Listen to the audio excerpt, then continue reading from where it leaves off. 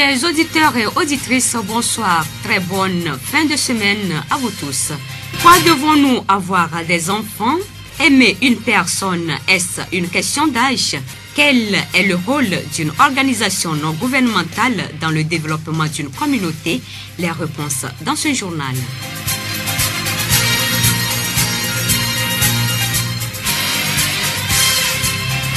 Radio Horizon à Kévier sur 101.1. Bienvenue à tous. Ces dernières années ont été marquées au Togo par une forte paupérisation des organisations non gouvernementales ONG. En nette croissance, ces organisations qui ne relèvent ni de l'État ni des institutions internationales ont pour mission de venir en aide aux communautés.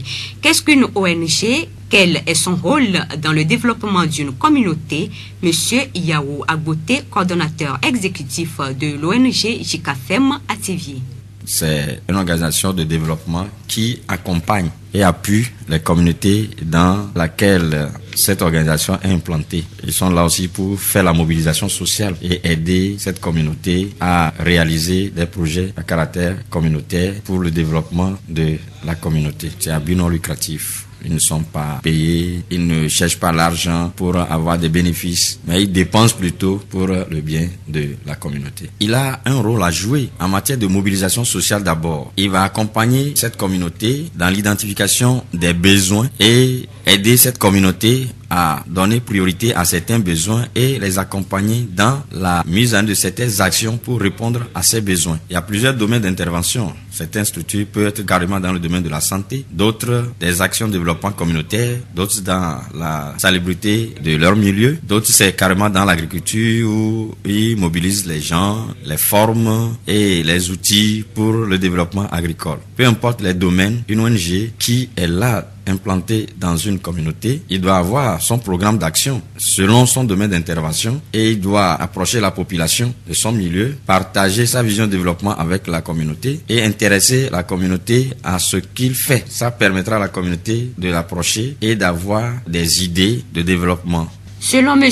Agboté, un responsable d'ONG doit être un homme de bonne moralité un responsable d'ONG, d'abord, doit être vraiment quelqu'un qui a la vision de développement. Il n'a pas la vision lucrative, mais dans le social, c'est quelqu'un qui doit être honnête, sincère dans tout ce qu'il fait envers la communauté et ne doit pas aimer l'argent. Parce que quand un petit projet arrive et que peut-être tu as monté un dossier pour les communautés et que l'argent vient, si tu ne sais pas faire, tu risques de détourner l'argent pour ne pas faire le travail. Donc, tu as tes qualités. Tu es diplômé dans tel domaine, tu peux être sociologue, tu peux être anthropologue, tu peux être juriste, peu importe ton diplôme, si tu veux faire le développement de ta communauté, tu peux, avec les amis, travailler ensemble et pouvoir ériger une association ou bien une organisation non gouvernementale. Sur le plan moral éthique, dans le travail, il faut être véridique. L'information que tu ventiles, quand les gens viennent, quand ils vérifient, ils voient que c'est ça l'information. Tu ne dis pas autre chose et après tu fais autre chose. Et là, tu seras bien accueilli dans la communauté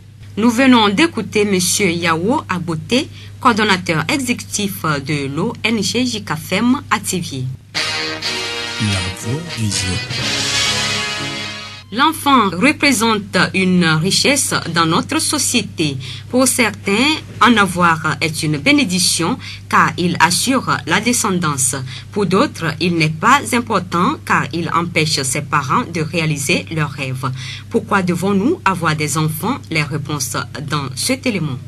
Avoir des enfants, c'est une bonne chose. Il faut s'assurer la progéniture. Plus euh, les enfants, c'est la relève de demain. Moi, à mon avis, euh, c'est important d'avoir des enfants pour euh, assurer ces vieux jours. Étant vieux, si vous avez des enfants, votre vieillesse ne sera pas tellement souffrant. Les enfants apportent le bonheur sur plusieurs plans. Hein. Si ton enfant t'apporte de bons résultats, je crois que c'est déjà le bonheur. C'est tout ce que même un enfant peut porter à ses parents. Tout être humain doit avoir de l'enfant dans la vie. Si tu n'as pas d'enfant, ne te considère pas, ne te respecte pas. Si tu mets ton enfant à l'école, ça peut te rapporter ton nom encore ailleurs. Et s'il travaille bien à l'école, ça va t'encourager aussi. La voix du La connaissance et le respect du code de la route permettent aux usagers d'éviter les accidents de circulation.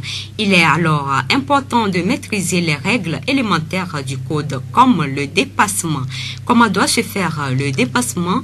Monsieur Lady Kofi, directeur de l'auto-école Feu Tricolore à Manokiakbo à. Quand on dit dépassement interdit, ça va directement d'éviter l'accident. Donc, quand on dit où le dépassement est interdit, directement nous allons vers le code de la route, devant un panneau de l'interdiction de dépasser. La première des choses, vous devez voir si vous êtes dans un cas d'interdiction. Vous avez le panneau, le dépassement est interdit. Sur une ligne continue, elle est tracée au sol, sur le goudron. Vous ne devez pas dépasser votre prochain qui est devant vous. Dans les virages, le dépassement est interdit. Au sommet des côtes, faut jamais passer son prochain. Ça cause un accident. Sur les ponts, sur les chaussées rétrécies. De nos jours, il y a la construction des routes. On met les chaussées, les panneaux, chaussées rétrécies. Déjà, vous ne devez pas faire le dépassement. Radio Horizon à Thiévier sur 101.1. Les relations amoureuses sont les plus complexes des relations humaines. De nos jours, le débat sur l'âge en amour fait légion. Certains soutiennent que l'âge ne fait pas l'amour, d'autres prouvent le contraire. L'amour est-il une question d'âge? Élément de réponse dans ce micro-trottoir.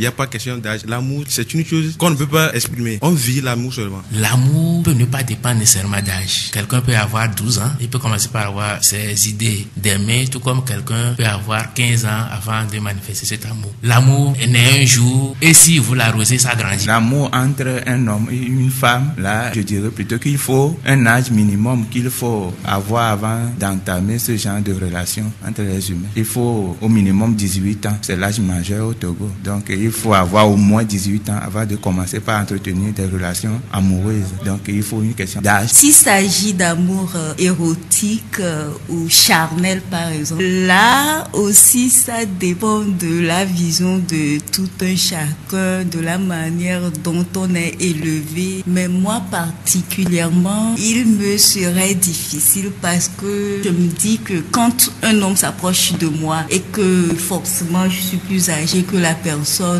donc je l'appelle petit frère, je ne peux pas. La voix du Zion. Lancée par la synergie des travailleurs du Togo, une grève de 72 heures a paralysé cette semaine les écoles comme les hôpitaux de notre pays.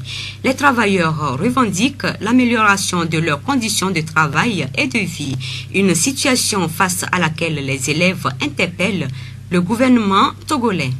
Les grèves, ça n'a pas toujours été bon, ça n'a pas toujours donné de bons résultats. La cause de l'échec euh, au bac de, certains de nos camarades l'année passée, c'est pas vraiment trop avantageux, surtout pour les élèves. Les inspecteurs ne vont pas prendre en compte les grèves et tout ça. Ils vont juste poser l'épreuve comme ils le pensent. Donc, ils travaillent fort et qu'ils oublient un peu les grèves, qu'ils ne pensent pas que ce sont des temps libres pour s'amuser. Les grèves peuvent nous retarder dans les cours. Par exemple, les programmes, on ne peut pas les finir avant les examens. Nous devons profiter de ce temps-là pour apprendre les cours que nous avons déjà reçus et essais pour mieux comprendre les chapitres que nous avons déjà reçus. Je peux dire au gouvernement de d'avoir pitié des professeurs, exaucer ce, ce qu'ils demandent, de leur donner ça pour qu'ils nous aident à bien réussir l'année. Je voudrais que le gouvernement accepte ce que les professeurs veulent pour qu'ils puissent nous passer les cours. Cette année, c'est une année de victoire pour nous, mais comme les choses se passent comme ça, les professeurs ne sont pas là pour dispenser les cours, pour que nous puissions lire ou bien faire aussi des recherches comme ça pour réussir. Je souhaite que les gouvernements puissent accepter tout ce que les professeurs veulent ils viennent nous dispenser les cours. Cette temps de grève, comme nous, nous sommes encore de la terminale et nous avons une fossée à franchir en quelques mois. Et cette grève ne nous arrange pas. Les temps que nous avons perdus, on a passé une semaine de temps à la maison et que les cours ne sont pas faits, nous avons avoir des manquements sur nos études. À ce moment-ci, nous sommes trop perturbés par les grèves et nous sommes aussi en retard par rapport au programme, on se débrouille.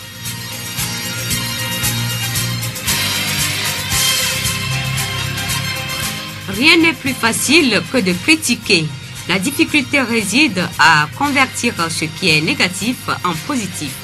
Sur cette citation de Will Roger, nous refermons ce journal. Merci de l'avoir suivi. Présentation Blessine Fossonia. Réalisation Gaëtan Amouzou. Très bonne nuit et bon week-end à vous tous.